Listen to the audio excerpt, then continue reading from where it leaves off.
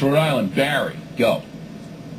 An old expression, Bill, uh, who's watching the watchers? And in my mind, if the only record is a record that the people in power to prosecute any liars, if there were any, uh, can see, then if they decide they're not going to do their job, they're not going to prosecute, we have to be able to put pressure on them to do that, and we can't if there's no public record. Okay, but pressure on what?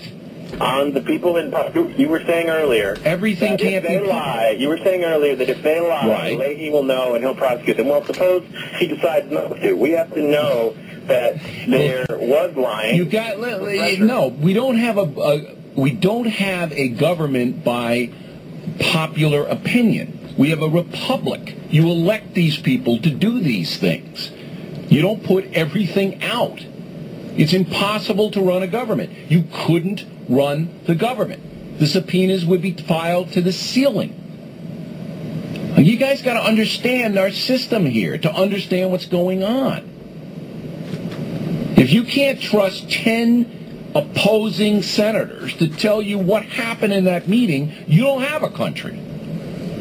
We'll be right back. You're in the no spin zone with Bill O'Reilly.